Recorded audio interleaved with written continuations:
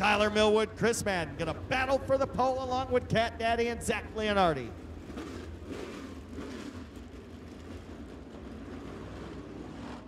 And if you think about it, the chances for a driver with a four in their number, 75% chance a four will be your pole sitter.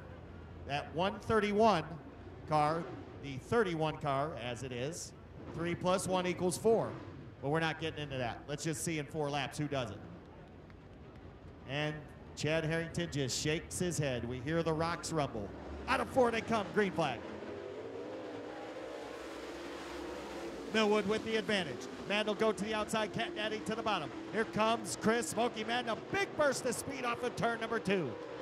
So Madden will take Millwood into that third corner. Oh, way up by the wall is Leonardi. Lap number one goes to Smoke. Cat Daddy will go to second. We could have a pair of 44s on the front.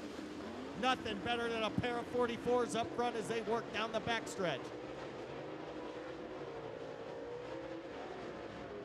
Millwood third, Leonardi fourth, white flag the next time by.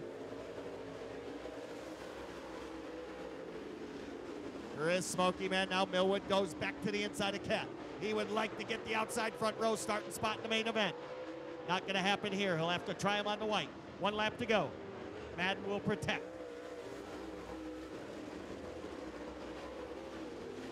So Chris Madden down the back and into turn number three. Your dash winner and pole sitter tonight, it'll be Chris Smoky Madden.